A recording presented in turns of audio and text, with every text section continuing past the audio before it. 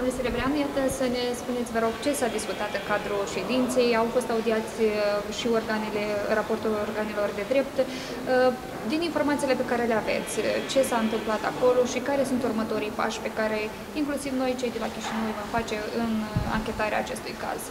Bine, datele anchetei sunt deocamdată pentru uzul celor care efectuează ancheta, pentru a nu prejudicia mersul ei. Uh, toate instituțiile de forță din Republica Moldova s-au autosesizat. La rândul nostru suntem într-o comunicare permanentă și cu Organizațiile pentru Securitate și Cooperare în Europa, uh, misiunea locală, uh, Comisia Unificată de Control de asemenea a făcut un demers în sensul Um, uh, posibilității uh, efectuării in situ a unor uh, investigații pe linia Comisiei, care implică, de fapt, toate organele de forță din Republica Moldova, întrucât um, tragedia s-a produs pe teritoriul zonei de securitate, localitatea Suclei este în perimetrul zonei de, de securitate.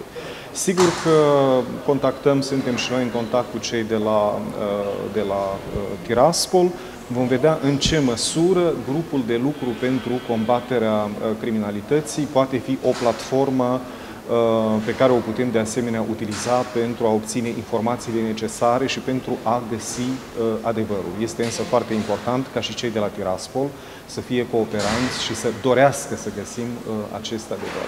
Acum, firește că, așa cum am spus, datele anchetei sunt, uh, sunt uh, nici nu discrete, sunt secrete, dar uh, ancheta este într-o stare foarte incipientă, vă dați seama, mai ales că accesul la informații este unul foarte limitat, au trecut un număr încă limitat de, de zile și găsi, căutăm și mecanismele cele mai Uh, potrivite pentru a face schimbul necesar de, de informații între Chișinău și Tiraspol. Dar Tiraspolul este deschis să ofere, acest, să ofere aceste informații și aceste...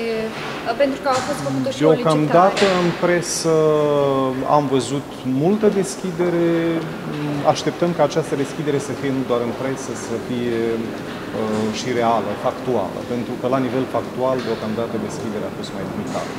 Dar uh, iată să ne spuneți dacă grupul de lucru de la Chișinău va merge acolo, pentru că a fost inclusiv o, o solicitare în acest sens, ca să fie creată o comisie de anchetă care să meargă Comisia acolo. de anchetă, nu pot să vă spun, nu ține de competența noastră, Comisia de anchetă, grupul de lucru pentru combaterea criminalității este în, funcționează uh, sub auspicie, deci în cadrul formatului de negocieri din plus 1, Ehm, putem să ne gândim la convocarea acestuia, însă trebuie toate instituțiile care fac parte din acest grup de lucru să convină că e timpul potrivit, pentru că este nevoie și de uh, pregătirea convocării acestui grup de, de lucru.